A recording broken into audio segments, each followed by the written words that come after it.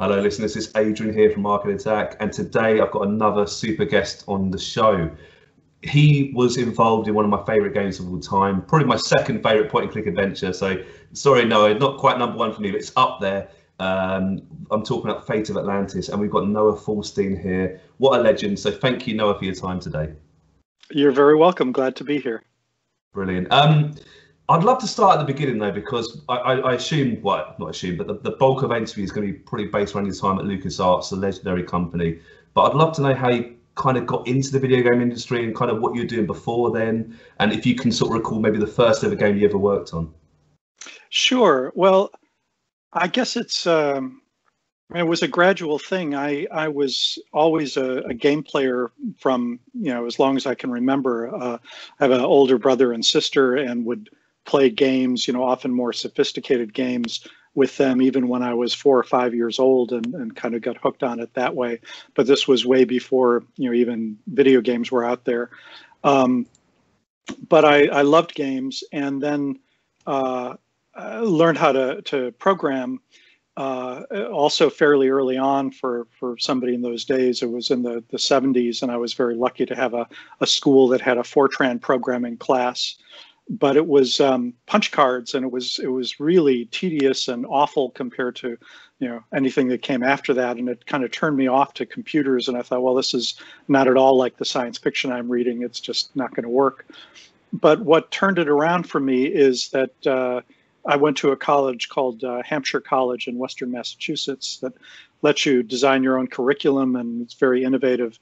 And my first semester there I was taking a calculus class, and our calculus teacher said, you know, math is great, but these days, if you really want to do math uh, or use it in your career, you should learn computers. And he recommended a, a, computer programming course in a language called APL that was popular at the time.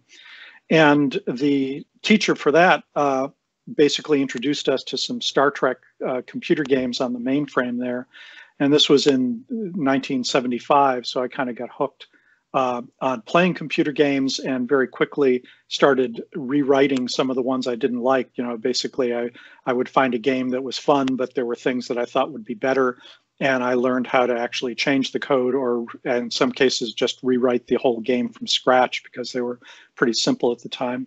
And that's really what got me going. Uh, my first professional job, though, was right after graduation from university there, would have been um, early 1980 I got a job at Milton Bradley uh, company. It was better known at the time for its um, uh, jigsaw puzzles, but they had something that even to this day is still popular called Simon. It's just a, a little um, circular sort of flying saucer with four different colors and you know plays a, a different tune each um, uh, of the four quadrants you press.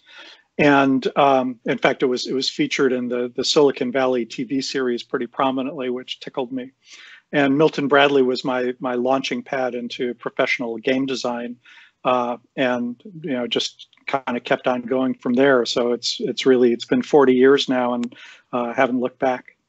That's astonishing. I think I know it's MB Games. Is that right? Uh, Milton Bradley. Yeah. Yeah, yeah. They that's correct, and they've been bought by Hasbro subsequently, but I think right. they kept the label. That's great. So obviously, I mean, I when I think of MB games, I think of the board games. Are you a fan of board games yourself, or you, oh yeah, absolutely. Yeah. You know, I've got a, a, whole stack of them, and you know, loved board games uh, as a kid. Play, you know, I love the renaissance and uh, games over the last ten years that everyone's playing.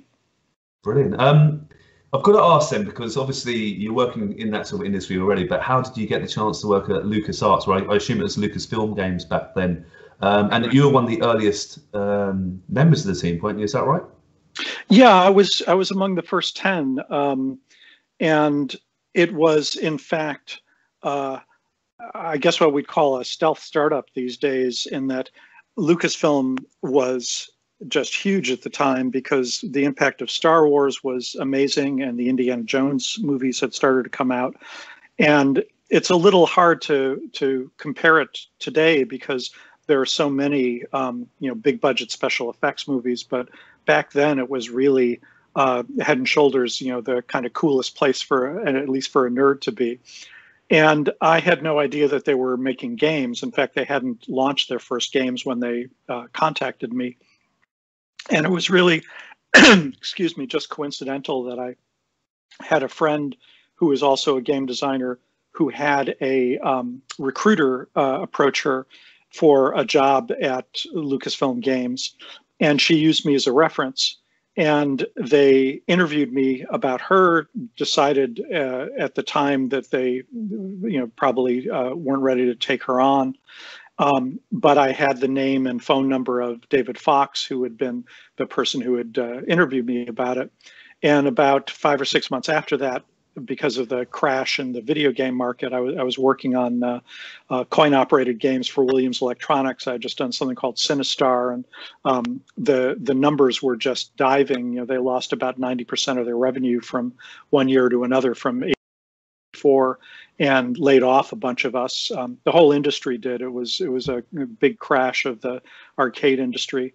And uh, I called up David to see if they had any other openings, and it turned out that they actually were just doing some hiring, and it went on from there. Uh, came out for some interviews, and and that was it. That's amazing. We've we've had David Fox. He was our first actual interview interviewee actually on our podcast. Um, oh, and he's a great. What, what, a gentleman he is actually. As I'm sure oh, he's a great guy. Yeah, we've stayed close friends. Actually, we we live about a 10 minute drive apart and see each other frequently. Oh, brilliant, brilliant. Um, I, I, assume your role at LucasArts sort of changed quite a, few, a bit over the years out there, but how would you describe your exact role? What's your responsibilities?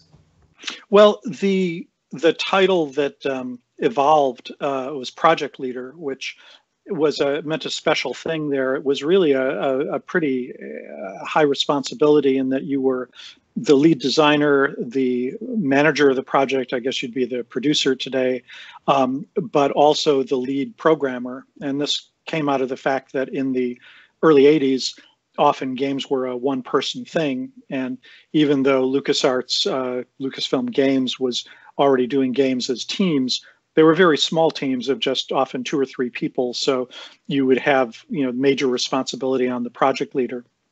And uh, it was, uh, you know, a, a exhilarating to have that much control, but it was also um, it, it, pushed you, you know, quite a bit. We had to kind of teach ourselves a lot of what was going on as we we went through there. Not only um, certainly a lot of game design issues we worked out collaboratively. It was a very collaborative group of people, and we would all sit uh, or, or stand in, in the courtyard uh, of the building we were at and just chat for hours about design concepts and and you know meta concepts of you know what it meant to be a good game designer. Uh, so we kind of taught ourselves as we went along because it was so early on in the industry.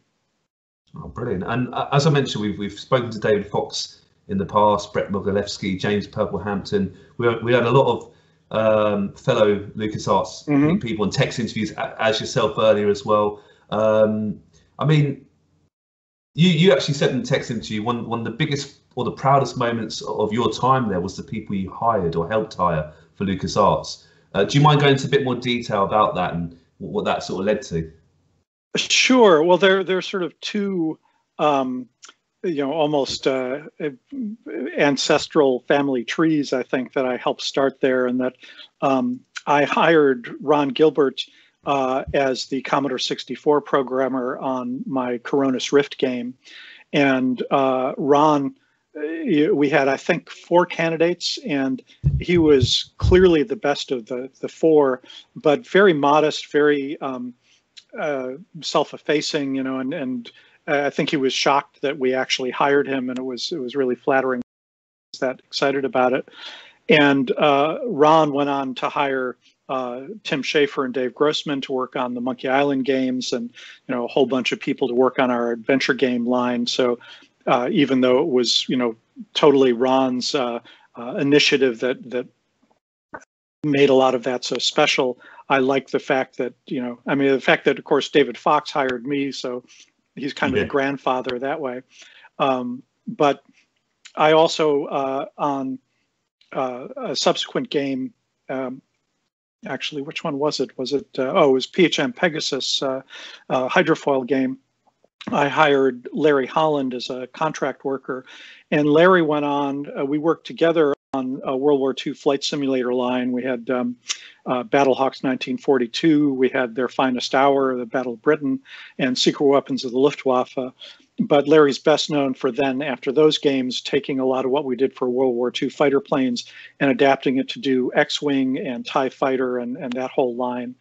And uh, I, in fact, I was pleased to see Tie Fighter uh, that came out in, I think, what would it have been, 1980 uh, sorry, 1992 or 1994, something like that, just was listed as one of the top three or four uh, Star Wars uh, space combat games. And uh, just, you know, nice to have been able to bring in people who went on to kind of eclipse me. And of course, uh, Tim Schafer is such a big name these days. It's it's great to remember you know, when his uh, CV came around and we were all passing it around because it was incredibly creative and uh, he was uh, relatively inexperienced at the time, but he was clearly so good at humor that we we had to have him in for an interview and he won us over when we did. What, what, what was his CV like then? Did he add jokes and things to it, or how did it, how did well, it stand he, out? he's actually published it on uh, the Double Fine website. I think if you dig around, you could find it with a little bit of Googling. Uh, but he did a cartoon basically that uh, showed him coming into interview and his, you know, how excited he was. And uh, if I remember correctly, it kind of it, it showed two endings of him being brokenhearted and desolate that he didn't get the job and on top of the world if he did. But it was in his characteristic uh, sort of tongue in cheek, silly uh, humor style that he's so good at. And it was uh, so much the kind of humor that Ron was looking for for the, the game he was working on that we, you know, were uh, persuaded. I mean, at that point, we were we had our proprietary um, language we were using to make the graphic adventures and uh, we had to teach people how to use that in the beginning so nobody was coming in knowing how to do that so there was a lot of instruction involved and we figured that that would work out and it certainly did. That's amazing. I mean lucasarts um, no when I, when I was growing up it's one of those few companies where i thought any game you get with, with that logo on it is going to be quality and um, i don't think i've played any game that didn't meet those really high standards for me personally. I mean how speaking to people in the past one, i'd love to get your view it's it had a special sort of feeling to it, the company. Um, but what attributes do you think you needed in that company, maybe in these sort of really early days at least, to, to make it so successful? And at least, yeah, what, what's the magic ingredients in your view? You know, I, I've wondered about that, and in fact, our our we're many of us are still close friends. You know, I I talk to. Uh, you know, people like uh, David Fox, Ron Gilbert, Hal Barwood, um, uh, Tim Schafer, uh, Dave Grossman, all those people I've talked to within the, the last month uh, or communicated with. And um, we didn't realize at the time how unusual it was that we had such a great group of people that fit in so well. And I have to attribute a lot of that to the early hiring and the the uh, uh, there was a, a I think an interest in getting people who were nice people who who liked to get along. It wasn't just that you know I've been at some companies since then where somebody is a fantastic programmer, but they're kind of a jerk, and you know people put up with it because they're so good at coding. Um, and we we had a little bit of trouble in the very early days, but uh, fairly quickly kind of sorted out how to hire people that got along well together. But I would say the main thing was just the ascendancy of Lucasfilm as this creative icon of exactly the kind of people that we wanted to hire. And it meant that we really got our pick of, you know, huge number of applications for any kind of opening we had. And I've since had a similar experience with, you know, some other companies when I was one of the first uh, few people at DreamWorks Interactive and uh, at Google, for example. It's the same thing that if you have the reputation where there are, you know, dozens or I remember at Google, we actually had, um, I think they get 140 resumes for each person that they actually hire. Uh, so you, you can imagine you can be incredibly selective.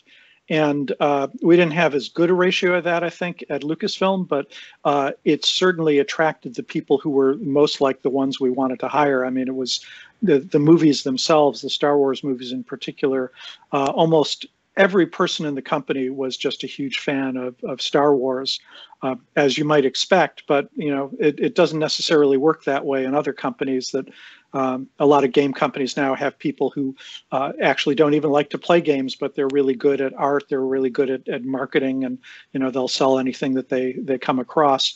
In our case. For the kind of creativity that was embodied in the Star Wars and Indiana Jones movies. We're talking about those two franchises that you arguably the biggest movies, you know, the, the really massive movies there. Uh, George Lucas well, and Steven Spielberg were involved in both of those. Did you did you work closely with both of those gentlemen? And uh, obviously, huge huge legends in the industry. But what were they like to work with? Any funny stories about them? Or sure. Uh, well, I was very lucky um, in that I was the first project leader on the Dig and uh, I was it was first of four, uh, but because I was the first one, uh, well, it, it, was based on an idea that came from Steven Spielberg, and George was generally uh, incredibly supportive, but not very personally interested in video games. Uh, so he would spend maybe literally, I think, oh, five or six hours every year uh, coming over to our group you know there'd be one or two visits of just a few hours each uh, spread out over the course of a year. And he would meet with our, our boss more often but in terms of actually coming in and talking to the people making the games just wasn't his thing. You know he would yeah. hang out at ilm quite a bit and work on the films of course. Steven however uh, was and as far as i know still is a huge video game fan. Um, and when he came in with this idea for the dig uh, George wanted to get involved in it because they're they've been good friends for you know forever, and so I got to be uh, the project leader who led those creative meetings, and we did uh, I think it was only two or three that had both George and Steven in them, and then uh, uh, separate ones with with Steven because he was the one who was so excited about it. But uh, it was a huge thrill for me to actually not only be in the meeting with them, but be charged with running a creative meeting with these two guys. That uh, the first time I was so nervous about it that uh, you know I just didn't know what to expect. But they were uh, particularly Steven. I think is so much like other game designers I know. He's got exactly the kind of creative personality. And both of these guys were just like us in the sense that they would throw out lots of ideas and some were good and some were bad, but their hit ratio was fantastic. And of course, anything involving story and character development, they were, you know, blowing us away. So it was, uh, it was pretty amazing. And as far as anecdotes, um, oh, there were there were a lot of really interesting things that came out of those meetings. Uh, I mean, I guess my favorite uh, story is Steven, you know, as I said, George would would often not be all that uh, interested in what we were doing, and ILM, you know, took up all of his attention. We had a, a group meeting on the dig that they were both involved with one morning, and uh, I remember specifically, it was supposed to start at nine in the morning, and uh, Steven was flying up from Los Angeles, but as often happens, there was a lot of fog in the San Francisco airport, so they delayed the flight. And he didn't actually get to Skywalker Ranch where we were until 9:50. So it was 10 minutes before our hour-long meeting was supposed to end. And I thought, great, you know, because I we had been told at, at 10 o'clock he had a meeting with ILM. And we, I thought, great, we'll get 10 minutes. He'll blow us off, talk to ILM. But in fact, we went on for the full hour and even a bit more. And a lot of it, I think, because he was so excited. Meanwhile, in the next room over, ILM was setting up and they were going to be showing off um, clips of some of the dinosaurs for Jurassic Park. So, you know, yeah. certainly something I would expect Steven to be really excited to dive in and see. So we finish our meeting. Uh, there to you know get us out of there and, and have him over. So we start to pack up the computer and chatting a little bit about things. And he asked us about those flight simulators that i mentioned before. Uh, and i think it was probably uh, our battle of britain game that was happening at the time. I don't recall which one it was. But he mentioned something about you know how's that going? And i said oh well we had a, a demo but you know of course we ran out of time.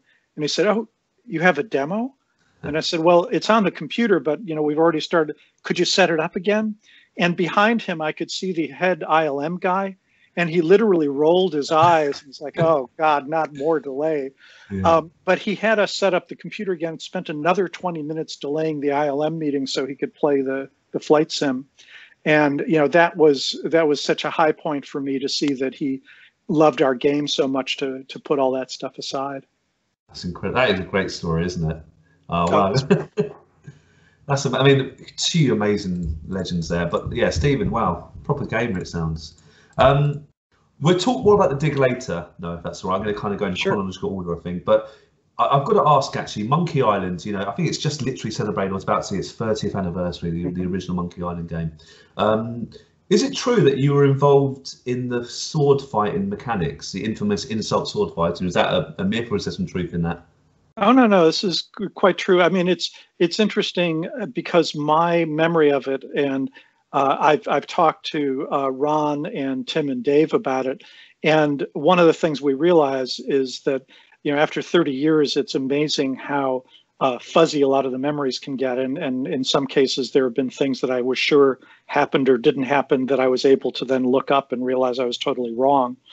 But I remember the the key genesis moment for me on that was, uh, and I've, I've, I've mentioned this story before, so it's in more detail for anybody who wants to search online. But uh, ultimately, so what had happened is that Ron and David Fox and I had collaborated on Indiana Jones and the Last Crusade that you know came out before Monkey Island, and we had needed a um, uh, punching, a, boxing mechanic for that game. And I had been playing Sid Meier's Pirates game, and they had a pirate sword fighting mechanic where you could basically, uh, it was a 2D side scrolling thing, and you could, you know, stab high, medium, or low and move back and forth and it was kind of a, a, very simple fencing mechanic. And I thought, well, if we change that to fists, it would work for boxing. But I didn't tell Ron that I basically ripped off the idea when you know we built that in.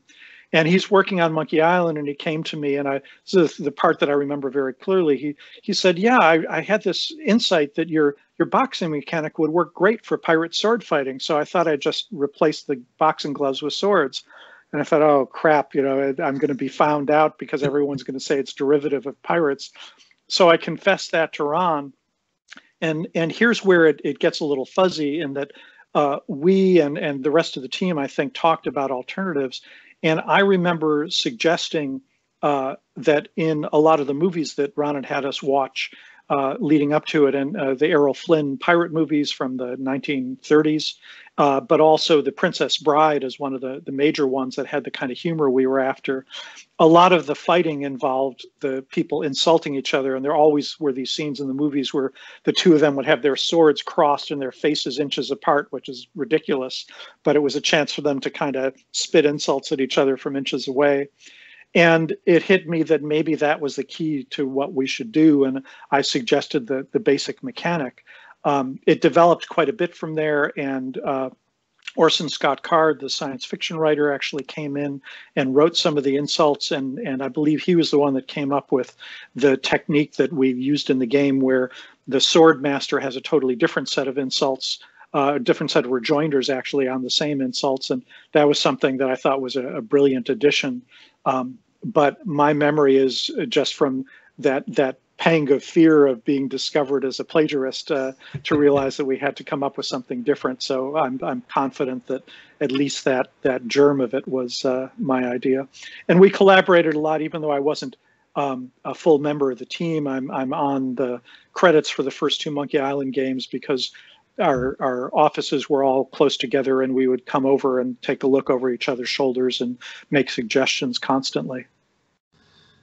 I, I'm, a, I'm one of the biggest fans of monkey island. I mean you must reflect back. It's amazing isn't it? 30 years. I can't believe it. Um, oh yeah it's it's incredible and it's it's amazing how alive it is in the, the minds of fans including a lot of people who weren't even born when the game came out but have fallen in love with it since then um, and Last Crusade, you said, was made before Monkey Island. Is that right? So it's um, was it late eighties? Then is that correct? It came out uh, the same year the movie did, uh, eighty nine. So wow. in fact, Ron put Monkey Island aside uh, in order to to work uh, together with David and I on on the Last Crusade. I, I enjoy The Last Crusade. I think it's a good adventure game. Obviously, you, you know the hero already. I was a, always, always a fan of Indiana Jones. Um, I would love to know how you actually went about making that game. Did you see the movie before, like test screenings of, of The Last Crusade? Were you given the script, or were you sort of just how close is the game to the film, for example? Is it like uh, it's been a few years since I've played it, truthfully?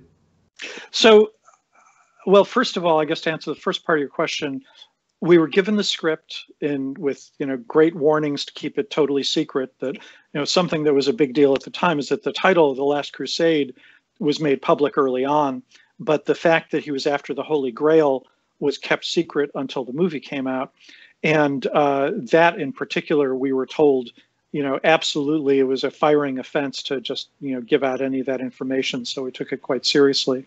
But uh, around that time, at, at, one point, I was talking to the head of um, licensing for Lucasfilm, and I mentioned something about how our games were starting to do better, and um, PHM Pegasus that I had done had had broken records for us. I think we sold a quarter million copies, which was great in the mid '80s, but you know, sort of silly now and uh, I thought, well, this is starting to, you know, I guess we're starting to get some some uh, decent income stream. And he chuckled a bit, and I said, it's not that big. And he said, well, I don't want to burst your bubble, but uh, we made more um, on just licensing pajamas with Star Wars characters than the entire games uh, group made you know in that previous year. And that really put us in our place you know it was uh, uh, so as a consequence we even though we were making a game based on the movie the people making the movie just saw the game as you know number 173 in their list of licensees you know may, maybe i'm i'm exaggerating a bit but uh, it was it was definitely we were very low on the list so we had the script we had a few still but we didn't get to go on any of the production shoots. We didn't see any of the early clips.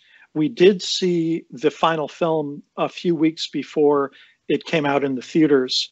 Um, and in fact, they did let the group of us, uh, Ron, Dave, and I, to to to come down to Paramount Studios to see that uh, for a very special screening. I think there are only 12 of us in the audience. And it was a shock to us because they had actually cut several important scenes out of the movie well, several scenes that were important to our game. And it was too late for us to change the game at that point.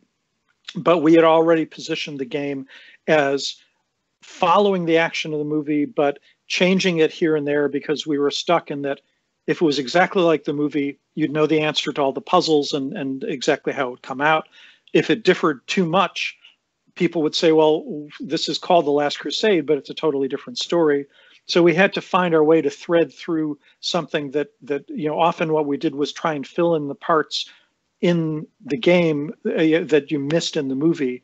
Uh, so, for example, in the movie, you know that that Indy and his father uh, rush through the the zeppelin and get on a biplane, and so we made a whole maze inside the zeppelin that doesn't really exist in the movie. You just see literally a few seconds of them clambering around inside. Um, and that's really the the approach we took. But it it was uh, quite a shock for us to see that the the um, uh, scenes that we had included in the game, you know, in some cases were cut from the movie, and we decided to turn it into a virtue and marketed the game as having you know special scenes cut from the film. And uh, you know, we just didn't point out that it was inadvertent that we'd been able to do that. That's brilliant. Um, I have to ask, actually, I assume you're a fan of the films that uh, before you started working on the games. Is that fair? And oh, do you absolutely. have a favorite? Do you have a favorite Indiana Jones movie? Well, I would say I think because of all the time we put into it, and I I don't know how many times I watched it. The Last Crusade was probably my favorite one, and I thought the Sean Connery Harrison Ford dynamic was fantastic. Um, I, I, wasn't very fond. You know, I, I think the first one, though, Raiders of the Lost Lost Ark, there were a lot of elements of that that, particularly uh, Marion's character. You know, the all the other movies. Uh, well, sorry, the other two movies that had different uh, female um, romance uh, interests. I thought never lived up to you know the the the quality of what they did in that first one with uh, you know uh, her as Marion. And uh, when we did, I'm sure you'll get to this, but when Hal and I worked on Fate of Atlantis, we wanted a similar strong-willed, competent uh, woman, and not somebody who was just either an adversary or following, you know, him meekly along. And so I would say certainly, I guess if I ranked it, I would say uh, it, it, would be a toss-up between Last Crusade and and uh, Raiders of the Lost Ark for my favorite. Fair enough. And there might even be a fifth movie. You never know. I don't know if that's been cancelled It's yet, been but... delayed many times. yeah. yeah. Um, and I've talked to people um, at Disney about that a bit. Uh, I, am not allowed to say any more than that, fair but enough, uh, I'm keeping my fingers crossed. I, frankly, I, given how old uh, Harrison Ford is, and given the way Disney works, my totally um, unofficial uh, uh, theory at this point is that it's more likely that at some point they're going to say, "All right, we're just starting over, and you know we're going to do we're going to reboot the Indiana Jones franchise in some way because Disney, uh, you know, is very good at remaking stuff and and revitalizing." And uh, at this point, it's been so difficult getting everybody to to agree on something. I don't know if it'll ever happen. Fair enough. Um, our listeners can't see it, uh, Noah, but in the in your, I can, I, you got your camera up. I can see in the background in your in your office a really good movie poster. Well, it looks like a movie poster. It's unbelievably professional, uh, but it's actually the, the the game cover, isn't it, of Indiana Jones and the Fate of Atlantis. Um, we were talking slightly off air earlier. I mean, it's an amazing piece of art, isn't it? It's the game cover, but it's also got uh, credits, uh, like movie credits, and there are a lot of little humorous touches in there, you know, in the fine print. Uh, this was a, a, promotional poster that we gave out. I've, I've also got a Revenge of the Jedi poster up here. Amazing. That was uh, one of the rare, uh, before they changed the name to Return of the Jedi, they made a few posters that called it Revenge of the Jedi. So uh, I was able to pick up one of those. Um, but yeah, that was uh, uh, because Hal um, Hal Barwood had worked on a bunch of movies. Most notably, he was a ghostwriter on on Steven's uh, Close Encounters of the Third Kind. Uh, in fact, Hal's even a, um, a bit player at the very end of the movie. They they have some torpedo bombing squadron pilots come off of the mothership of the aliens, and Hal is one of the first two people that comes off the the aliens uh, ship there. Um, so he had a big movie history background and uh, helped helped us create a, a movie poster essentially of uh, our Fate of Atlantis game. Amazing. Now, um, Hal Barwood is, uh, you know, you work very closely with him. I think it was uh, you and Hal basically, you know, I'm sure there's other people in the team, but you're the real sort of uh, heartbeat of Fate of Atlantis, one of my favorite games ever made. Um, I have to ask actually, you you created a story, uh, uh, you, you, know, you can fill in the gaps a bit here, but the whole brand new story, wasn't based on a movie um, it, it, was based on a kind of a myth, like the urban myth of Atlantis. Mm-hmm. How how about did that come about? Was it a brainstorming session? Did it how something it is? You know, I'd love to have an idea how the sort of ideas came about. And, Sure. Well, it it evolved over uh, a couple of months, I think, and um, originally we were given a really a lot of freedom to do almost whatever we wanted, and and both George and Steven, I should say, uh, throughout the work we did, were always very um, uh, open to us doing whatever we liked. You know, even with um, the Last Crusade and having it be based on the movie, we had been given. You know, Georgia told us if we wanted to do something crazy with Indy or you know have it divert from the story to feel free. Um, but they handed us. Uh, George gave us actually a script that uh, uh, Chris Columbus, the, the screenwriter, had done that they had looked at but rejected for the third movie. And you can find it online now. At the time, it was super secret, but it's uh, uh, based on uh, this Chinese myth of Sun Wukong, the Stone Monkey King. So if you look up Indiana Jones Monkey King script, I think it's pretty easy to find online. And we just really didn't like the script. Uh, I, I, recently reread it, and um, in particular, I'll, I'll, have to say that there's a um, uh, kind of a comic character who's one of Indy's female students who follows him around throughout the full movie. And it's really pretty blatantly misogynistic that mm-hmm. he's constantly, he sleeps with her, they make it clear that he basically has an affair with her, drops her, and then she follows him around for the rest of the movie and he keeps spurning her and ridiculing her. And it, it's, you know, at one point she spends uh, two weeks in a uh, barrel of bananas with nothing but bananas to eat to get you know and it just and and that's that's really funny you know and then she comes out and she's you know been i you can only imagine what it would be like to to, wow. to be stuck in that anyway we just said this is a terrible um, uh, idea and uh, we're looking for what to do next and of course the the names of of the um, movies and the the core of the movies usually is about whatever it is that Indiana Jones is is going after the the MacGuffin in movie terms because usually it doesn't matter too much what it is that he's getting. It's just that he has to have this uh, really interesting, often mystical thing to to to look for. And so Hal and I went to the extensive library we had at Skywalker Ranch, um, poked around with a bunch of different myths and uh, legends and that sort of thing and narrowed it down to uh, Excalibur and Atlantis. But what helped clinch it is that we found a book about Atlantis that showed a an illustration of Atlantis as a city of concentric rings. And it was so game-like that we said, you know, this is it. This is such a perfect idea. We need to make the, make it about Atlantis and have it set inside this sort of concentric ring shape. It's a, it's a great game. I have to. Say. I replayed it again recently, and um, it it holds up. Um, I know you get asked this often, Noah, so that you don't have to go into too much depth, but the sure. the free the free pathway system was was quite original at the time for a point and click adventure, which is usually quite a linear. Uh, well, you know, you can argue, you know, it's quite a linear story if, in that sort of settings from start to finish. But I, I love that that idea. It, I'd love to. Was, was, it your idea? Was it your brainchild? And and how how do you kind of reflect on it now? And do you have a personal favorite pathway? Yeah, of course. Well, it was it was my idea. It actually grew out of our work on the Last Crusade again, and that uh, I, I, had actually been pushing. I, am a strong believer in having games uh, adapt themselves to the style of the person playing them. And uh, I Indiana Jones is such a multifaceted character eh, that it, we wanted, for example, the action elements. You know, in our in our adventure games, usually with point and click adventures, there's not a lot of reflex action or timing uh, issues. But with Indiana Jones, so much, you know, from the very first time you meet him, where he's, uh, you know, snatching the idol and rolling under the, the door and getting his hat just as the at the nick of time as the the you know uh, door comes down. We felt that having some kind of action timing puzzles would be fun, and we didn't integrate them very well. I think in Last Crusade, you know, we we had some alternatives, but basically we didn't have the time or resources to do separate paths but it was something that was in my mind because of that. And when it came to Fate of Atlantis, I really pushed for it.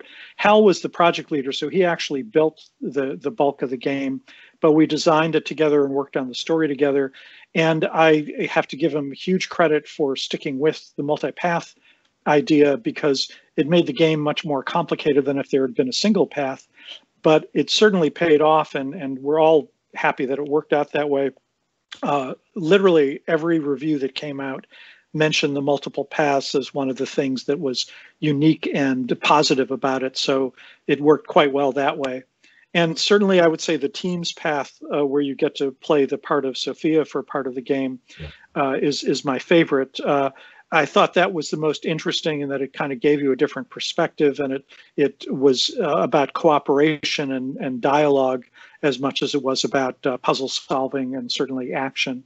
Um, so really, that's that's the evolution of it. And I just say I, I, was just reading this morning that they're in the works on a remake of Westwood Studios' Blade Runner game that came out a few years later. Yeah. And Lou Castle, who was the the lead on that, um, based a lot of the Blade Runner structure on Fate of Atlantis and took it a few steps farther. That if people get a chance to play the the remade Blade Runner game, it has the same quality where you based on the choices you make in the game, the story changes quite radically. And as I said, it's it's great to have a game that essentially reads your personality and adapts itself to fit the kind of gameplay that you prefer.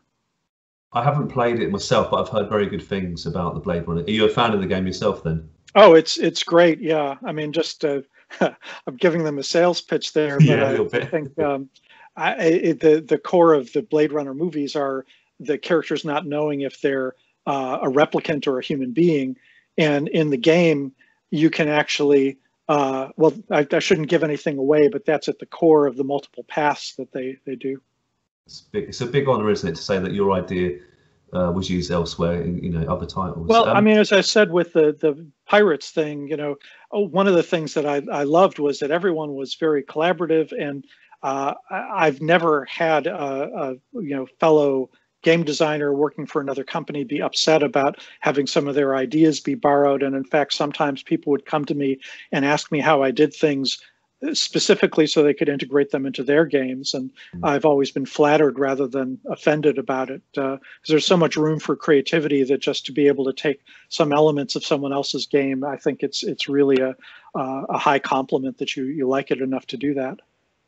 Good stuff. Before before we talk about the dig, which I really get into in a minute, um, was after the Fate of Atlantis, you know, huge success. I, I assume it's one one of the best sellers at the time for LucasArts. Did you ever kind of all-time bestseller for wow. for adventure games? Yeah, That's over incredible. a million units. There there were some. Uh, I, am not sure whether Grim Fandango, but which came out you know almost ten years later, I think, might have done better. And there's some argument as to exactly what how you count the the sales numbers, but certainly at its time, it was by far the biggest seller we ever had. That's amazing. I mean, you would again, you, you might be offended. You would assume it'd be a Monkey Island title, but no. You know, Fate of Atlantis. What? What? Wow, setting records. Well, I have to say today, in terms of popularity, I would say the Monkey Island series, at least, is certainly more popular, and and particularly in Europe, it's we always sold better in Europe uh, than we did in the U.S. Uh, sometimes by a huge factor and even within Europe, Germany was the epicenter of that. And when uh, any of us go to Germany, it's it's it's just a weird sensation that um, just like uh, Jerry Lewis, you know, who is sort of seen as a, a, kind of a mild, you know, funny comic in the U.S., was a huge god in France. Um, or David Hasselhoff, you know, is, is huge in the German-speaking regions our games, you know, the Monkey Island in particular is just legendary in Germany, and it's amazing to me how how many Germans want to interview me about that. What do you know? Why do you think interest like Europe likes that sort of genre? Well, uh, there were a couple of reasons. Uh, uh, part of it was that we we had a marketing head who later became our our uh, president for a while, Doug Glenn, who really believed in the European market. And uh, the biggest innovation he had starting quite early on um, was that instead of going to one big house like um, uh, US Gold or some of the others that did a lot of distribution in Europe and having them do all of the translations. They, they basically would have teams of people who translated into, you know, eight or 10 different languages. Um, he made individual deals with publishers in Spain and Germany and Italy and this sort of thing, and had them have their own local people who were native speakers of those languages do the translations. And often the other translations were a native English speaker who would learn French or German or whatever, and the quality wasn't as good from from their viewpoints. Um, and Boris Schneider, who actually did our German translations, he uh, went on to become a VP at Microsoft, and he actually came back to to work with Ron on the Thimbleweed Park uh, game recently. Um, he grew up in Germany and the US going back and forth as a teenager and had a huge colloquial gra- grasp of uh, not just the languages, but also the, the humor of the times and the idioms. And I think our translations, the same thing in, in Asia, we had Japanese and Korean translations that uh, I think were were much better than the the kind of um, you know translation mill ones that came out. I love it. That's yeah, brilliant. Um, all right, let's talk about the dig because the dig um, is a game which I again I've completed very recently. It's one of my it's probably the last LucasArts game I've just played and completed. I thought it was very good. Um, but you you were the first. I think it's the production, yeah, the project leader of that game. Mm-hmm. Um, but I think you're right. You said I think there's four project leaders in total. I mean that that's unbelievable. Which the the dig went through. I think is it fair to say production hell? Is that fair? Is that a bit harsh? Oh, absolutely. Uh, yeah. From our first meeting, uh, actually, the the meeting where it was announced that I'd lead the project happened during the 1989 Loma Prieta earthquake, the the last biggest earthquake in the Bay Area. Um, that uh, uh, knocked down a, a, part of a bridge and you know was on, on international news at the time. And that should have been a, a sign important. Uh, we were actually having a meeting and um, it was announced that I'd work on the game. And I think maybe half an hour later, suddenly we were all diving under the table because the entire room was shaking. Um, it took six years from that first meeting to when the game came out, which was extraordinary. It was certainly a record for LucasArts. Uh, there have been games like I think Duke Nukem Forever that have taken longer, and Blizzard's had some that have gone on. Uh, Star StarCraft Two took forever to come out, but at the time it was a record setter, I think, and and absolutely for our company, and largely I think because. Uh, Steven was pretty heavily involved. Uh, George and Steven, as I said, were in at the first meetings, and then Steven Spielberg stayed involved throughout the process because it was his original concept. And people loved getting close to him. Uh, I, I, just recently uh, ran across an email thread I had saved and printed out of my first few weeks on the project that uh, give a sense of what was going on, where I was basically complaining to my boss that uh, I had tried to set up the next meeting where both um, Steven Spielberg and George Lucas would show up and my boss wanted to be there and the head of marketing wanted to be there and there were like three or four people above me in the chain that all said oh i want to be in on this meeting. And they were never in on any of the early creative meetings for our other games but they wanted to be in the room with these guys and be able to you know throw out their ideas too. But just talking to steven and george's um, uh, minders who set up their schedules i was already like three weeks out to find a slot where the two of them could work together. And Steven was in LA, George was up in Northern California with us, so he had to fly up to do it. So I set something up, and it wasn't good with, I think, my boss or one of the other people. And it was one of those things where once I had it all set, then a week before the meeting, turned out that Steven had some other commitment, and could we change it to two days later? It was like, oh my God, it was just. And so I basically said, look, if I'm going to have to do it this way, we're never going to even have our first meeting, much less get the game done. So they gave me, you know, dispensation to be flexible with it at least.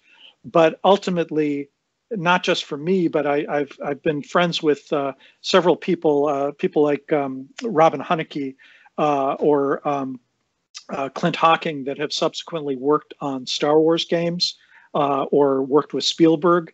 And I warned them about this, and they've had identical experiences that when you get people that high up in the movie industry, everyone in the company wants to be in on the meetings, and it just becomes you know really hard to to kind of keep control and keep something moving along. So that was unfortunately uh, a lot of what happened to us. Oh, could I still ask though, what was your early ideas and how far did it did go before you sort of left the project? Was there? Yeah, well, we went reasonably far along. I had a very radical idea of trying to combine a role playing game with our adventure game uh, uh, structure. And um, Steven's original idea uh, was really exciting, but we, uh, the technology at the time just didn't allow us to do it. Uh, uh, his basic concept involved two competing teams of archaeological digs on a planet, an alien planet, finding you know old technology, and the element that he wanted to do that I thought was really brilliant was borrowing. He, he pitched it to us as um, Forbidden Planet meets Treasure of the Sierra Madre, because uh, it's a cliche, but like so many movie people, when he would come to us with an idea, it would be one movie meets another. And that particular combination of these two old movies uh, was actually a brilliant insight in that Forbidden Planet involves finding an alien planet with this super powerful technology, but the people that made it died off, you know, centuries ago. And Treasure of Sierra Madre was a Humphrey Bogart movie where they're digging for gold, but gradually everybody starts to mistrust everyone else as taking the gold for themselves, and fights break out and it all falls apart. And he said, What if you did that and brought them together and had two teams of archaeologists on this alien planet? and gradually they start to mistrust each other and you're not sure if it's the alien technology or maybe the aliens themselves that are somehow influencing them. And that was the core idea. It was very simple and really intriguing. Uh, but we couldn't do entire teams of characters. And uh, you know we did the best we could. Uh, i had two individuals competing with each other. Um, brian moriarty who was uh, the the second project leader and formed most of the ideas that you see in the final game. He, you know, added extra characters and had them work against each other at, at one point or another. Um, but it was a very different game that I proposed. And I think I have to say, looking back at my early designs, we, we got several months into it. We had some puzzles wired up. We had a lot of artwork uh, done. And I like a lot of the elements that I had, but I think it was the correct decision not to go ahead with the game because in some ways it was a little bit too strange, too ambitious. If if I knew now, uh, knew then what I know now about how difficult it was to, um, you know, push stuff through with with George and Steven involved, I think I would have taken a simpler, uh, more direct approach. But of course, that's how you learn is is making those mistakes. And um, and I was actually taken off the project so that I could be the producer on. Was a first producer on Day of the Tentacle that was just coming out because they were looking for some help on that, and that was a wonderful game. Yeah. So I was I was content enough about that, but uh, uh, it, I I do wish that some elements of my dig game. There were some puzzles that I loved. The alien creatures were designed by this fantastic artist and I, I, wish we had had the chance to make that uh, you know see the light of day. Oh, good on. I mean, I, I, you're you hinted that you are a fan of the finished game itself. Then have you played? Obviously, you've played the dig since I take it the finished game. Yeah, I, I have mixed feelings about it. I think that the I'm, I'm a stickler for puzzle design, and I, I think that the puzzles could have been uh, better at times but I think that the story was great. Uh, I mentioned Orson Scott Card before, and he was brought in to do a lot of the writing. And having a professional writer of his caliber, I think, really made a big difference. Uh, I've mentioned that Brian Moriarty. Uh, I think Brian is really heavily undercredited on that game because the characters, the storyline, a lot of the basics were his idea. But then after him, Dave Grossman came in for a while. I think he was only project leader for two or three months and Sean Clark finished it up. But because Sean was the last person in, um, he was basically given most of the the credit for, and he certainly deserves it for bringing it over the finish line. But uh, a lot of the concepts in there, I think, were Brian's, and I think he's he's got a very minor credit in the thing. Um, so so did I, but I, I didn't deserve much because a lot of my influence was not seen in the final game. Fair enough. I like the. No, Thank you. I appreciate that. Um, I, I, know it's not my set of questions, but really quickly, Day of the Tentacle, another amazing game. Um, oh, yeah, it was there, a fun one. It was, and I think there's there's been a remake or a sort of unofficial sequel. Have you heard about that by a team? Oh, there, there have been unofficial sequels to many of our games. There are there's a Fate of Atlantis one that's been in the works for I think ten years or so. But yeah, the um, there have been at least uh, I think two um, with with Day of the Tentacle that people have tried to do and one was Zak McKracken. I mean, people, the fans are all trying to to make their own versions of, of sequels. But yeah, Day of the Tentacle was great. I, I have to say the brainstorming sessions for that were probably among the most entertaining creative sessions I've ever been at. That Ron, Dave, and Tim uh, brainstorming about comedy games being in the room with them, you know, I, am sure it's like being in the writer's room at 30 Rock or some of the other big TV comedies, uh, Saturday Night Live, because it had that sense. And so many ideas were thrown out just that got us all laughing, some of which were uh, sometimes a little obscene or, or just too radical, but it just, you know, made us, uh, uh you know, joke all the more about how it could work out. And even though I was only working on that project for a short while, it was was very memorable and a lot of fun. Oh, fair enough. Which game did you have the most fun working on? Was it Day of the Tentacle then, or was it or? No, I mean Day of the Tentacle. As I said, it was very short, and I actually uh, ended up um, uh, leaving the the company and the project, uh, or the, the fairly early on. But um, you know, I would say out of all the games that I worked on there, uh, Secret Weapons of the Luftwaffe uh, was probably most enjoyable for me, partly because I had a relatively small role, but worked so closely creatively with Larry Holland, who was the main person behind that, that we really were in total sync on how the game worked. And I love um, the combination of strategy and uh, uh, air combat. Uh, it's it was a, quite a successful game, but it gets very little interest these days. You know, flight simulators kind of fell out of favor, and mm-hmm. Microsoft has has has brought it back a bit. But they're one of those genres that was really hot in the 80s and early 90s, and and then gradually fell out of favor. Um, Fate of Atlantis is probably what I'm proudest of having worked on, um, just because uh, I think you know, as, as you've said and a lot of other people have said, it's it's been one of their favorites. And uh, in particular, I think the thing about it that I, I'm happiest to hear is the number of people that have said that they felt it should have been made into a movie, yes. which was was never really in the works, but we tried to make it feel like worthy of a, a movie script, and certainly among the game fans, uh, we managed to hit that mark pretty well, and I'm, I'm very pleased to hear that.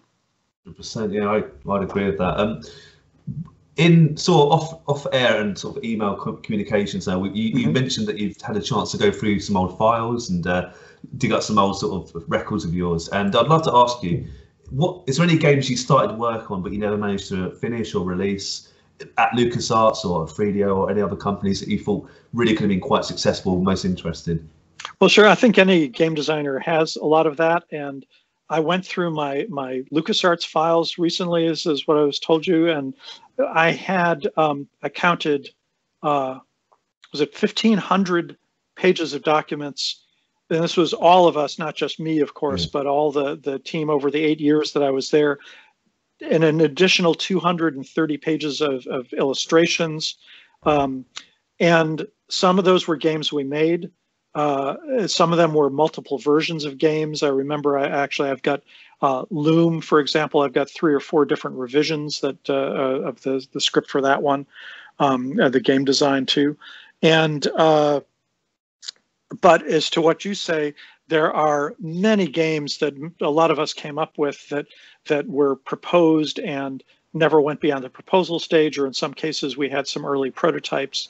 And there are a few that I would still like to do. Uh, there's one I had, a concept I developed, and I, again, Orson Scott Card was working with us, and I talked to him about it, uh, called the Star Cage.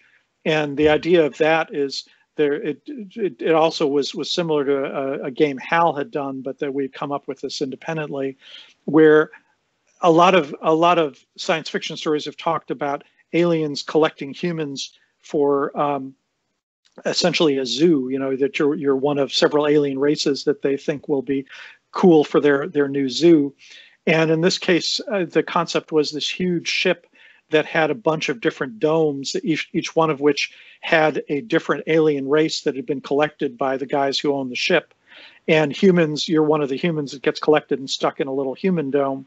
And you have to basically stage a revolt and team up meet with and team up with the other captive races to overthrow the guys who have uh, kidnapped you and take you back to Earth.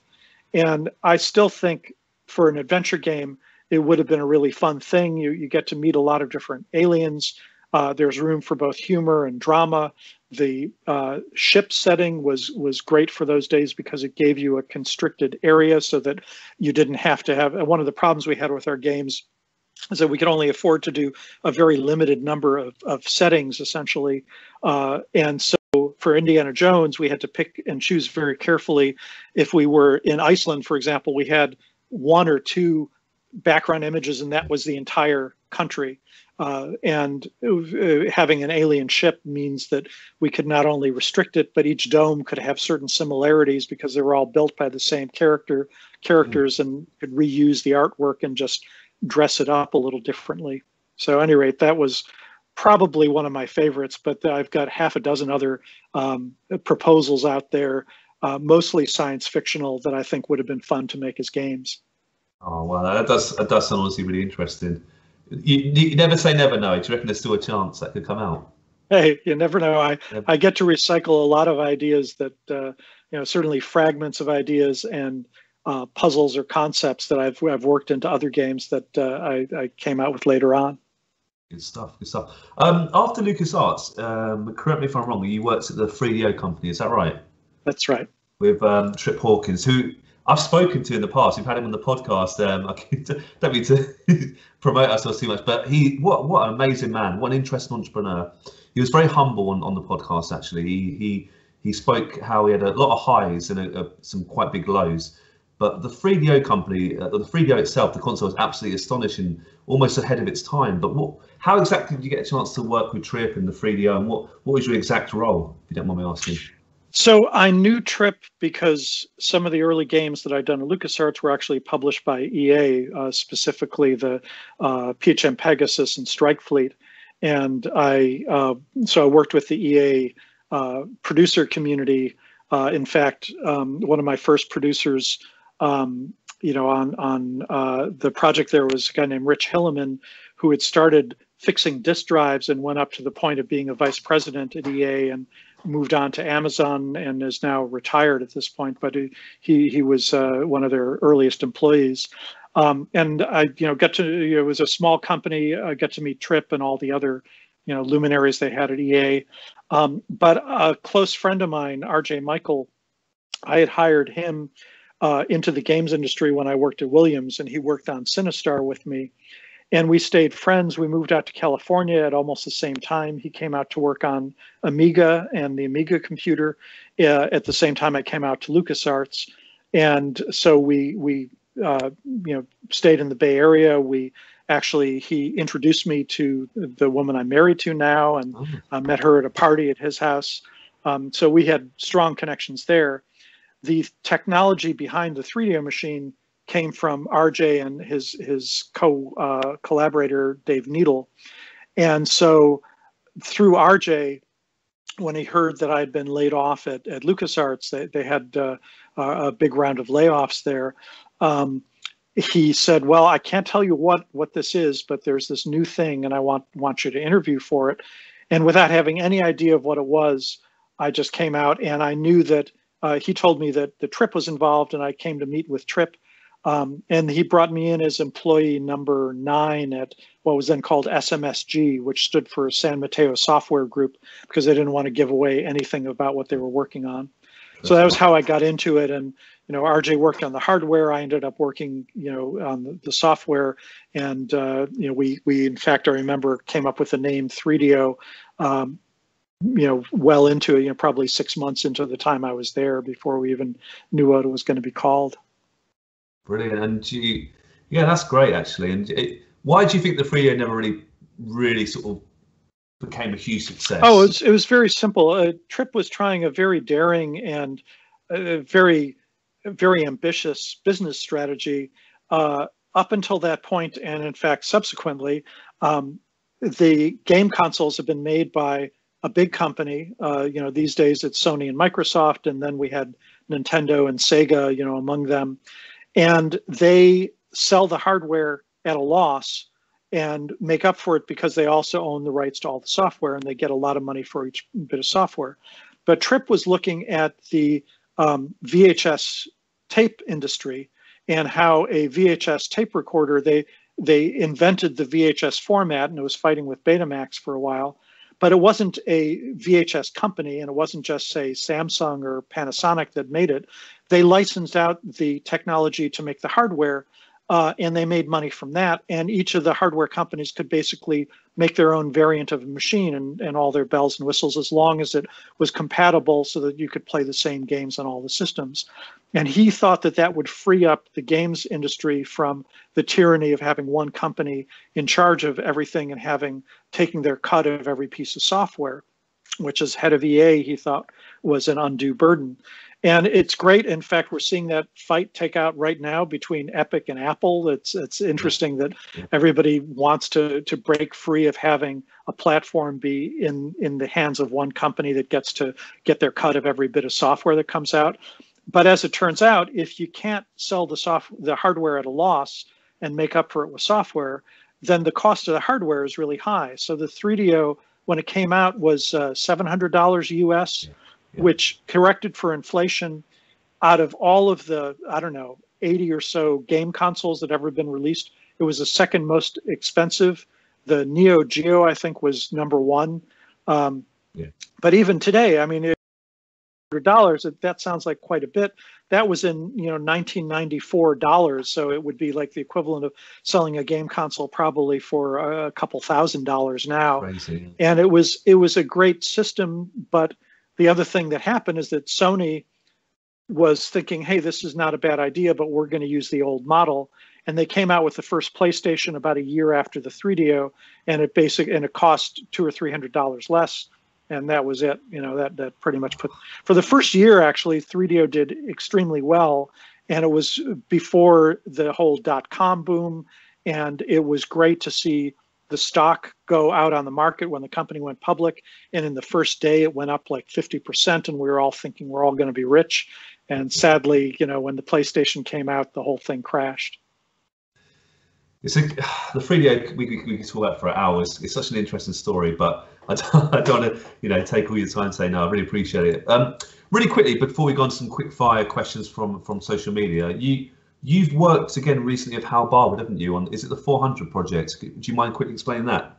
Sure. Well, I should say most recently we worked on a, a German game called uh, Mata Hari, uh, okay. and even that was seven or eight years ago. The 400 project um, was Hal's idea. Uh, he gave a talk at the Game Developers Conference in probably about 1998 um, called Four of the 400. And his point was that having gone to film school, they taught all these rules of thumb, these little basic things that this is how you do this in a movie. Uh, one example he gave me is that if you have two characters talking and the camera is following them along, where you position the camera depends on the emotional tone that you want to present. So if you want the the audience to feel really involved and intimate with the the conversation, you put the camera in front of them and have them walking towards the camera talking to each other facing you. If you want to feel like an eavesdropper, you have them moving across uh, in a, a, side shot with the camera. I mean, it's little things that, hmm. uh, you know, when he mentioned some of these, like, oh, of course, I never noticed that, but all movies do it that way. Uh, in fact, if you're really interested in this, look up something called um, the, uh, uh, oh, what's it called? The something line, the, um, Damn, I'm forgetting. All right, there, there's some wonderful, wonderful versions of this sort of thing. Um, uh, the stage line uh, okay, yeah. in movies. Anyway, uh, he said there must be these things for games. Games have been around long enough that we should start, you know, publishing them. And so he came up with. He said arbitrarily, you know, there's probably hundreds of these, and he had four of them, so he called it four of the 400. And I came to him after that. I said, "Well, this is really fascinating. Would you mind if I, you know, started to go out and try and collect more of these rules?" And we basically formed what was called the 400 Project to go out and ask a bunch of other game designers for their favorite rules. And we collected over a hundred of them. And then it kind of fizzled out because it was a major project and neither of us had time for it. But recently, I've been reviving some of that and uh, collecting some new rules uh, gleaning some of my own from books and kind of writing them in a format. And I'm very excited about where it's going. I'm hoping to have a book that will come out, but I've been planning to do this literally for decades now, so I don't want to have anybody hold their breath. Uh, Hal has basically turned it over to me at this point. I asked him if he wanted to be involved. He's happy with his current career, which is he's he's on his third career now as a novelist after having done movies and games. And uh, at the very least, I can promise that there will be a number of essays and articles about mm. what I found about these rules. And what's really interesting to me is that when I started to look at all these haphazard rules that we got from, you know, a couple dozen different people, uh, patterns started to emerge. And it's the patterns of how rules group together that I think is the most exciting thing. And that's, you know, I'll leave it at that for now because that's that's at the heart of what I want to write about. Could you share one rule with us, or is it all still tight lips? Oh, no, no, no. The rules are actually out there. Uh, Hal has a, uh, the best version on his website, I think. Um, if you search Google the 400 project, that's the 1st thing that comes up. Um, well, one of the one of my favorite ones that I think is is a fairly obvious but a, a solid one is to have uh, uh clear short-term goals.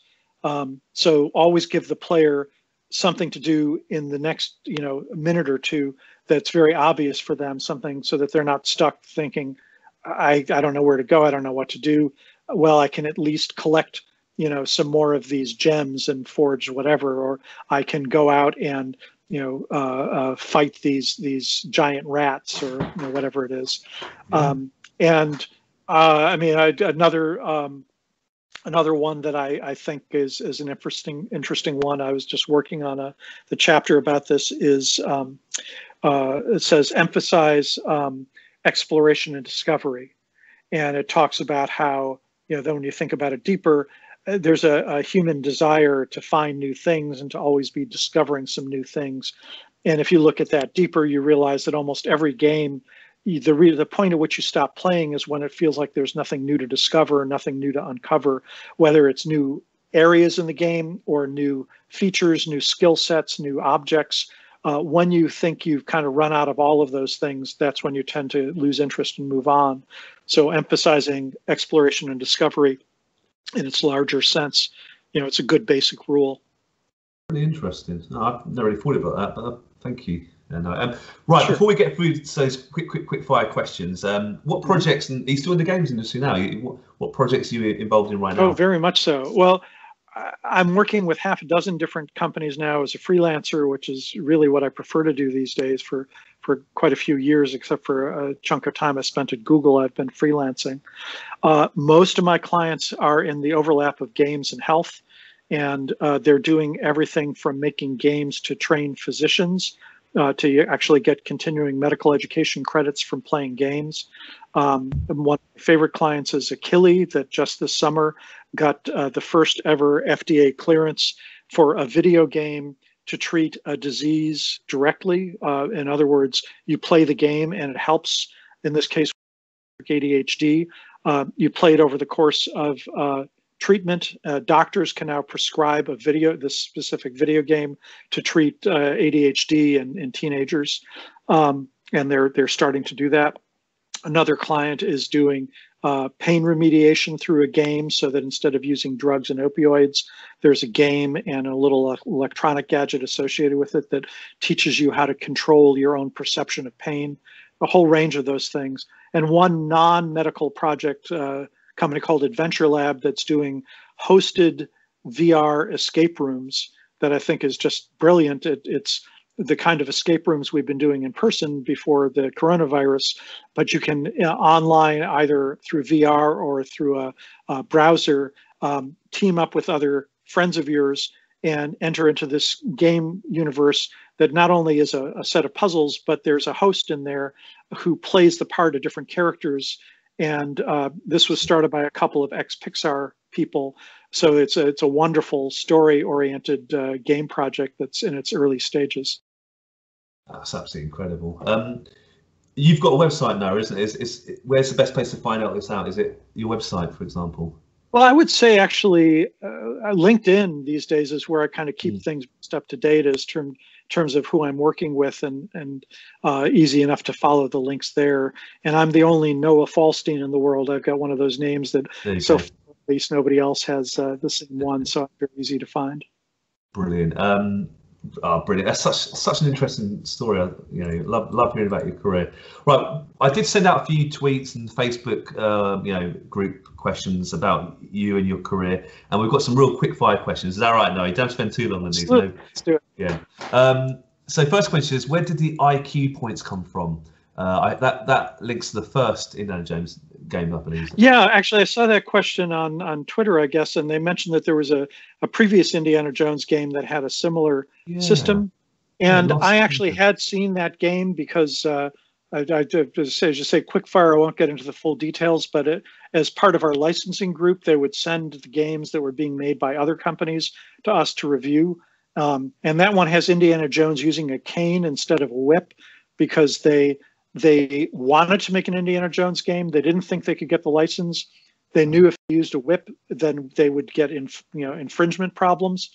And then they actually got the license after done, and it was too late to go back and change the cane to be a whip.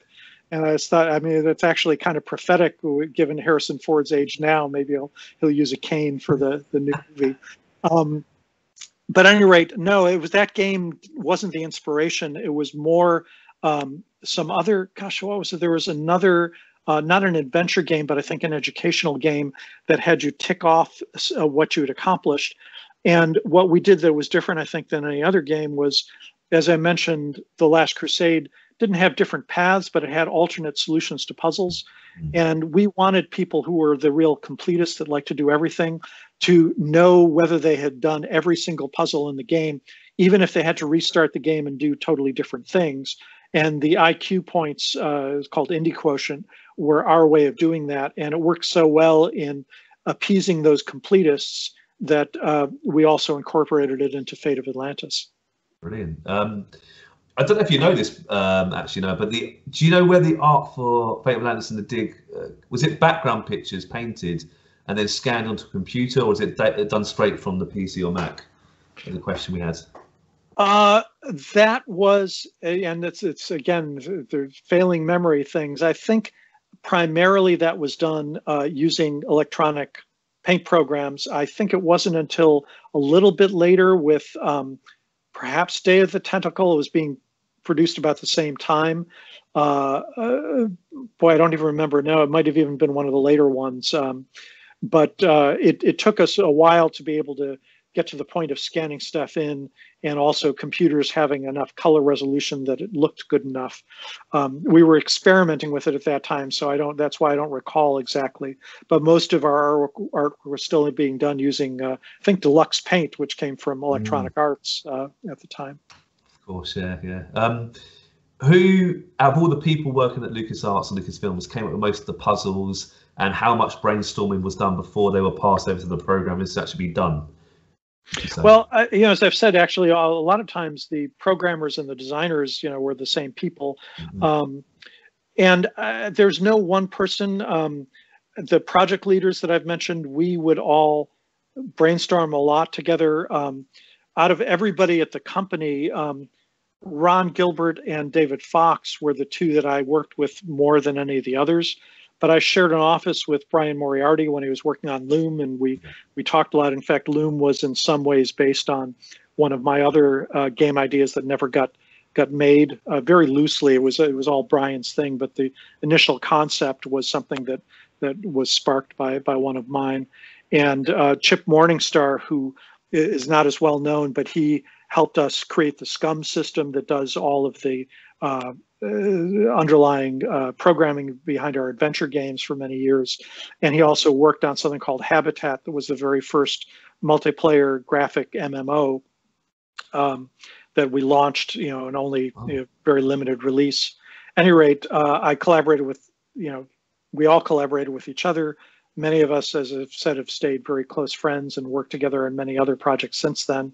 Um, and the ideas for the puzzles we would look over, literally look over each other's shoulders and say, well, this is a little bit uh, counterintuitive and couldn't we move this over here? And wouldn't it be great if we did a special animation? And can we afford to do a special animation? Can we reuse one of the other animations for a different puzzle so that it looks good here but we don't have to use the uh, space for on the disk to to store it all that kind of stuff was going back and forth and often the technical issues and the budget issues were equally important as to the puzzling which is kind of true today, but you, you don't have to cram stuff into these machines that fit, you know, just a, a literally, you know, such a small number of bytes of data. So it's a lot easier now to, to add stuff in these days. Ah, fair, fair.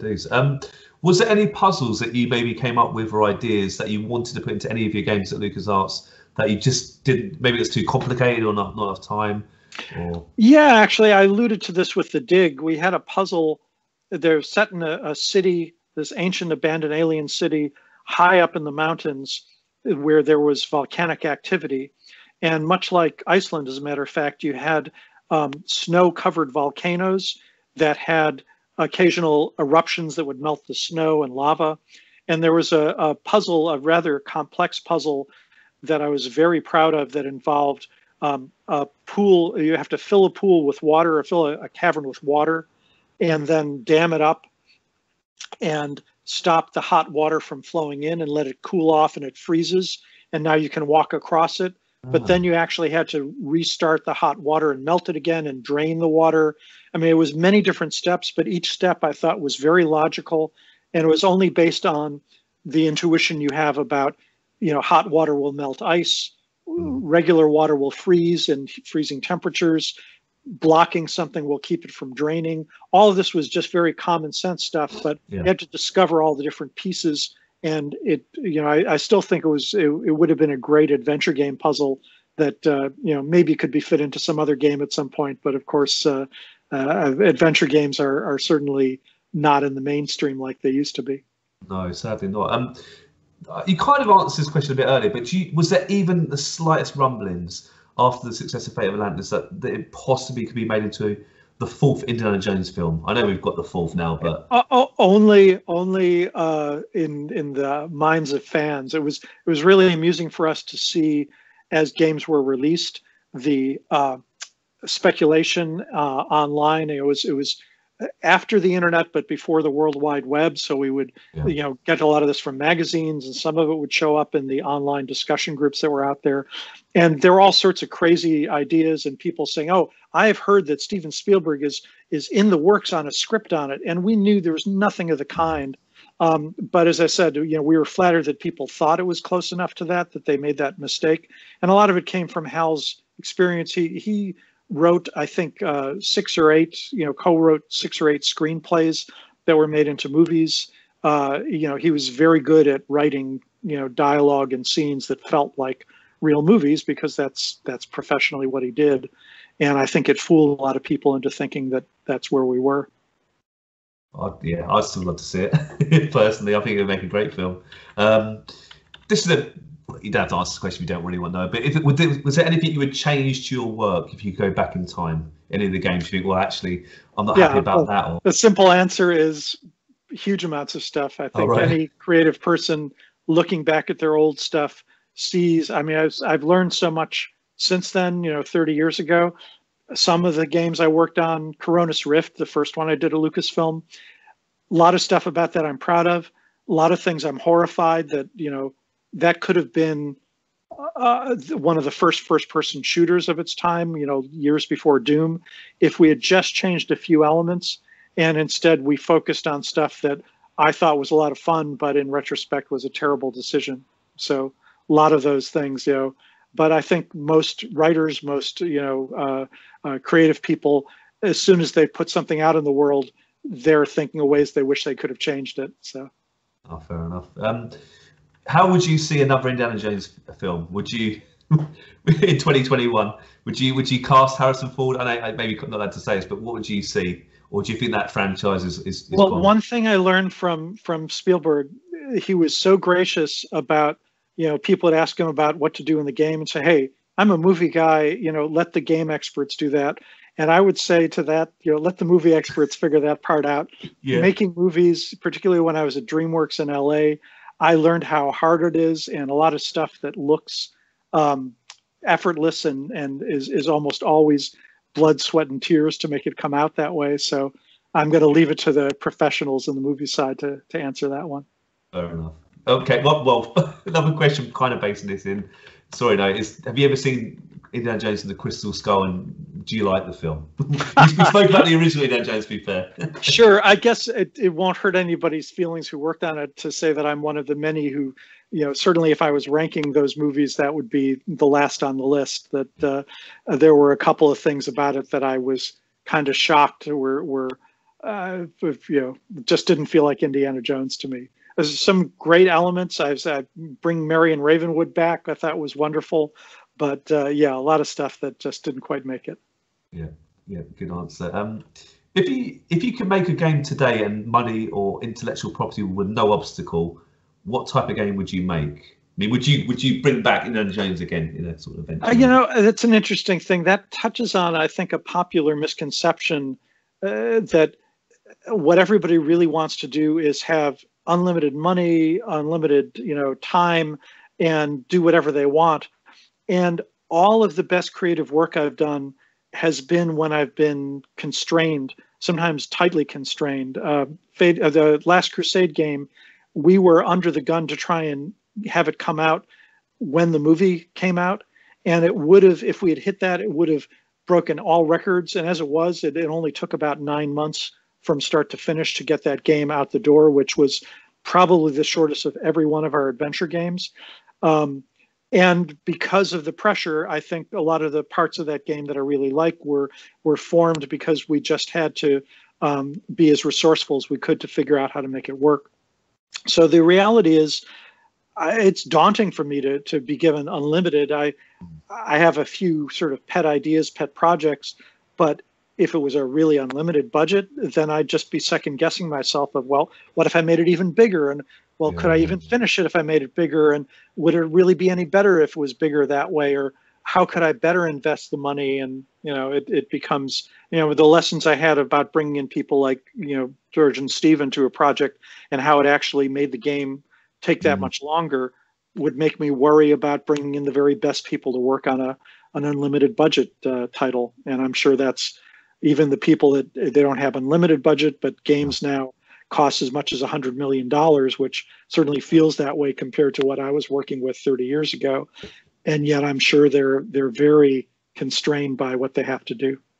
Yeah, no, fair enough. Um, do you feel that it says here there's an idea that games have lost a lot of story with the advance of technology, um, and maybe the older games had better narrative than the games today, uh, and possibly a bit more difficult as well? Do you think? Do you think that's true? Do you think modern? Are you a modern game fan yourself, or do you think it's, lost something recently? I'm I'm a fan of a lot of the stuff that's being done, particularly the indie experimental games are, are pretty fascinating. Um, I you know I think storytelling in games is as strong now as it's ever been. Um, maybe I, I certainly agree that games were harder then, and it was it was actually dictated by the players who would say they wanted 20 to 40 hours of gameplay for their uh, you know single purchase of a game. We experimented. Loom was a very distinct experiment to make a simpler, more accessible game that today might even be considered uh, a casual game. And if it were released, you know, just a few years ago, excuse me, I think Loom could have been a huge hit. Um, we had people who absolutely loved it because they could finish it in three or four hours. But many, many more people who hated it for exactly the same reason and said, we actually got literal hate mail saying, you know, you are the worst people in the world. Uh, they're actually more fervent than that. Um, you know, I, I spent $40 on this game and finished it in five hours. You know, you suck. And wow. uh, it was just, it was really sad because we had other people, a grandmother in Las Vegas, I remember, who wrote in and said, This was delightful. I've never played these video games before, but it was such a, it was much less challenging than I expected, and I enjoyed the whole experience. That was what we were aiming at, but there weren't that many grandmothers playing games in, you know, 1989. Um, so games have definitely gotten easier, and I think it's a good thing. You know, even the hard games have easy modes now, and people like to be able to finish a, a game in certainly four or five hours, if, if not uh, faster.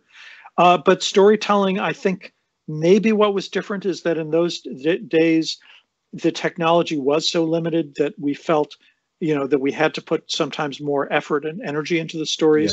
Yeah. And certainly Lucasfilm we felt a burden to be good storytellers because we had all come into the company wanting to do that. And um, Sierra Games, that was our biggest rival, particularly in the US, we often felt they had some games that had great stories, but a lot that felt like recycled Disney movies or, uh, you know, just uh, we, we felt that we, we were raising the bar there. And I think some of our success in Europe over Sierra was due to having deeper stories, whereas uh, some of their success in the U.S. I think was was uh, based on having uh, better marketing and a better customer uh, uh, rapport that they they built up early on. Oh, great, very interesting answer. Um, I really like this question actually, and I'd love to get your point of view. And I think you even said this is a question that really got you thinking, Noah. Um, are there any plans but you know, or just some ideas of taking Indy or any other sort of character, maybe Guybrush Threepwood, uh, from the point and click adventure to virtual reality, so VR. It would allow the player to actually become the actual hero, so Guybrush or Indy himself or, or, or herself. I mean, what do you think of that? How crazy would that be? Um, well, I, as I've mentioned, I've been working with a VR, you know, company, and it has really opened my eyes to the potential for VR. Uh, what's interesting, though, is that my first instinct would not necessarily let you to be to let you play that main character, or at least not all the time. You know, much like with with the team's path and Fate of Atlantis, sometimes I think it's interesting to be Indy's you know co you know collaborator or or um, uh, even adversary. Uh, I mean, it would be um, a lot of different ways that you could play that. But what I've learned about virtual reality and what I've also learned from my work on the medical side of things is that I, I believe VR affects your brain uh, in a much deeper way than almost any other. Uh, in, in fact, not almost, but any other medium we have been able to come up with in terms of tricking your brain into thinking you're actually in the situation that is depicted in VR. And as the quality of the VR headsets goes up, that's only getting better. It's part of the the secret of why games are able VR games are able to uh, you know work with uh, people's emotions. There are a lot of VR treatments for post-traumatic stress dis- disorder, for example, because VR is is incredibly good at, at evoking deep emotional responses particularly to get a little technical with the amygdala that's buried deep in your brain, that is the focus of anger, of fear, of arousal in the sense of, uh, you know, being excited or happy about things. It's it's one of the deepest parts of our brain that's present in lizards and other animals, and I think we will see in the future that VR is activating that more strongly than any kind of movies or books have been able to. And for those reasons, I think VR is both a powerful tool and something we're going to have to be careful with using. But I'd love to do some of these games in VR uh, with a big budget that would allow us. I, th- I, think uh, to some extent we've already seen it with um, uh, the the uh, Vader um, game on on that ILM XLab did, uh, Vader Immortal. Uh, that's a VR game that lets you play Darth Vader, and you know, mm. as in that case, playing the bad guy, or in his case, you know, somebody who's both a, a bad guy and a good guy, uh, that can be more interesting than just playing the hero, I think. Um, so, you know, we'll see. I mean, it might be really interesting to play an Indiana Jones game where uh, you are all of the dangers that Indiana go, goes through. There's one point where you're a boulder that tries to roll over him, and another one where you're a snake that's going after him. Mm-hmm. Um, but we'll see. I'm sure that we people would also want to be Indiana Jones and the VR controller, and we we mm-hmm. had uh, some actual bullwhips that had been used, same ones that had been used in the movie, and we would learn how to to whip with those as a kind of a pastime wow. at Skywalker Ranch. It's really hard to use a whip well, and mm. the VR controllers would be excellent for uh, trying to get exactly the right motion down and, and simulating the mechanics of a whip perfectly. That'd be incredible. That's what a great answer. And um, I, I learned some. I learned some stuff then. Though I, will be honest. Um, I, would love to see it. It could ever happen. Um, I, am assuming I'm happy to be corrected. The next two answers for the next two questions are going to come down to money. But why do you think point and click adventures are? They're, they're still they're still being made in the scene these days, but most big big budget studios won't go near that particular genre. Why do you think that's the case? Um, it does come down to money. It's interesting. Uh, there have been a lot of, first of all, uh, adventure games are dead is something that's been coming up, you know, over and over again since the the mid '80s at least. And it's certainly true that um, by the late '80s they had a huge decline, and uh, uh, sorry, by the late '90s they had a huge decline, and um, for quite a while they were were pretty much moribund, but uh, they've made a good comeback and they never quite died out. There have always been a number of uh, very fervent players, and I find it very gratifying to see how so many indie developers are experimenting not just with the sort of point and click, but putting pushing the genre in new directions, having interactive storytelling, uh, experiment in different areas, which is really what we at LucasArts always thought of. The point and click was just a, a mechanism for interactive storytelling, not the end in itself. Um, but what happened, of course, uh, what literally doomed it was Doom and the rise of first-person shooters. They cost probably a quarter or even less to make because they didn't have um, the huge amount of artwork. They they basically would come up with some very simple 3D background and repeat it over and over again for the most part. Um, and the action, they get lots of intense, uh, gratifying action that you could do over and over again, yeah. which we had to make fresh puzzles each time. and it was just very hard to compete with that. Uh, these days, a first-person shooter has become quite expensive, and so, so, creating a really good first-person shooter game and a really good uh, story-based, you know, adventure game, and of course those two have grown together to a great degree in things like Uncharted and and some of the uh, uh, The Last of Us and the, those types of games. So I think that there's room for those types of games now but it was basically the old style in the 90s it was really just an economic thing where yeah. much cheaper games were actually selling better and nobody's going to spend more money to earn less money if they have the choice you know and they're running a business. No good good. And the final sort of questions for social media was simply why why didn't harrison ford voice indy in fate of atlantis was there ever a chance was there ever negotiations, or was it just too expensive? So that that happened after I had left. Right. But um, I would say uh, I, it was certainly just a cost thing that mm. um, it, LucasArts, uh, Lucasfilm, I should say, owned the rights to Indiana Jones as a character, but Harrison Ford owns the rights to his own depiction. So we never made um, an Indiana Jones in the game that looked exactly like Harrison Ford. I think on the the cover of the the uh, the game for Fate of Atlantis, we were able to, and we had to get a special dispensation for that. Um, I forget exactly how it worked. I think maybe it was a, a, from a picture that he had shot for one of the other movies uh, that we had the rights to. But um, my sense is that uh, it just wasn't necessary, and it was way cheaper to get uh, the I forget the name of the guy they used, but yeah. you know it worked out quite better that way uh, for us.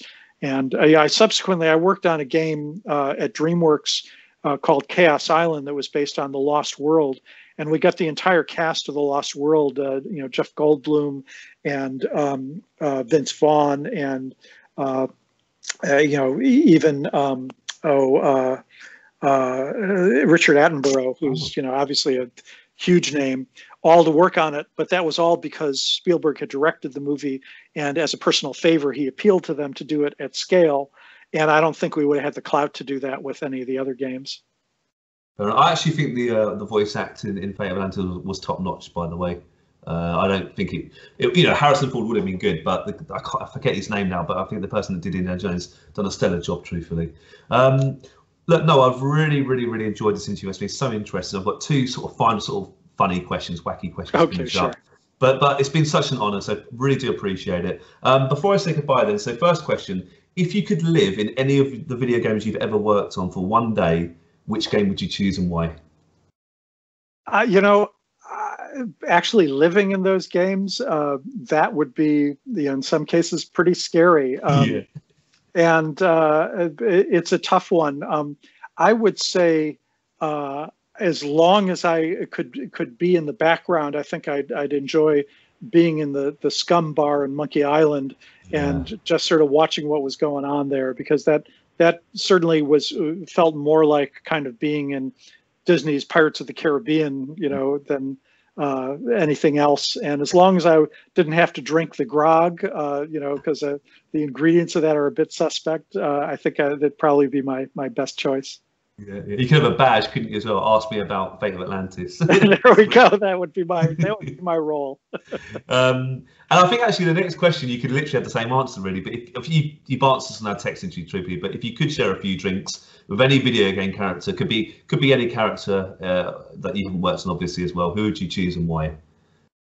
Yeah, that's a that's a tougher one. I mean, because if I just go beyond the characters that I've I've you know worked on myself, um, you know it's, it's such a, a, huge range out there. Um, i don't know. It's interesting. I'm i'm of the school you know despite having worked on these story games i tend to focus more on uh, the gameplay than the storytelling that i love games like civilization for example that really aren't character based so um, if it really comes down to it uh, you know i i guess i sorry to be ducking out of this, but I, I cannot come up with a, a, single character who I think that I would I would actually just enjoy hanging out with for, for their own sake. Even the the Monkey Island ones, it's more fun to watch what happens to them i think True. than to to usually actually the people around them you know often can meet rather unpleasant ends or or uh, yeah, you know be have a rough time of it but that's the best i can do for you sorry and i, I want to say this has been a lot of fun as well oh thank you look it's honestly it's been such a pleasure and it's a real honor um, i wish you all the luck in your future projects Now, keep us up to date and um, yeah i know our listeners are going to love it so thank you so much Thank you very much. Uh, pleasure talking to you. Thank you.